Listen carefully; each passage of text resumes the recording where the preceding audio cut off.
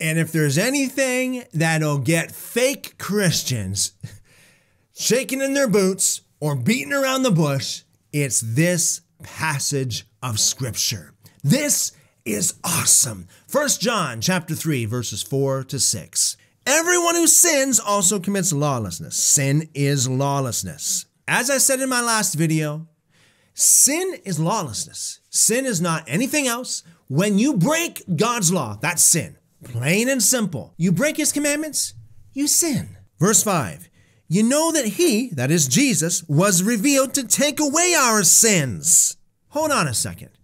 Jesus didn't come just to go, Oh, I love you. I love you in your sin. Oh, I, I, I accept your sin. I accept everything about you. That's not what it says here. He came to take away your sin, not sweep it under the rug. Remember, John the Baptist said, Behold the Lamb of God who takes away the sin of the world.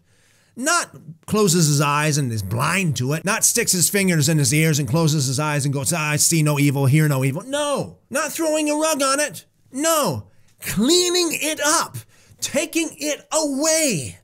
Last part of verse 5 and no sin is in him. No sin is in Jesus. Now here's a biggie. Whoever remains in him, remains in Jesus, doesn't sin. Huh? John said that? How dare someone say that, that you, you don't sin if you are in Christ? So let me get this straight. Sin is breaking the commandments of God. And if you're in Christ, you don't sin. In other words, if you are in Christ, you do not break the law of God. That's what John said. I know a lot of Christians would freak out about that, but that is what John said. This is the apostle, this is the disciple that was the closest to the Lord. No wonder he talks like this. There is no one who knew Jesus like John. There was no one that was closer to Jesus than John. Remember, he is the disciple whom Jesus loved the disciple whom Jesus loved. Not one of the disciples that Jesus loved, but the disciple whom Jesus loved. The teacher's pet, as it were. Verse 6 again Whoever remains in him doesn't sin. That's what John said. Whoever sins, whoever sins, hasn't seen him and doesn't know him. Who? Is that ever powerful?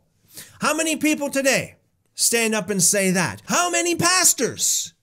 stand in their pulpits and say, Whoever of you sins, you have not seen him and you have not known him. And by the way, anybody who's in Jesus, anybody who's in Christ, doesn't sin.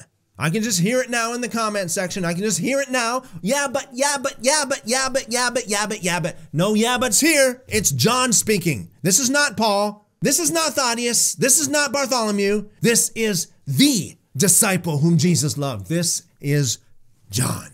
Seek God while he may be found, because there may come a time when you can't. And if you seek him with all your heart, you will find him.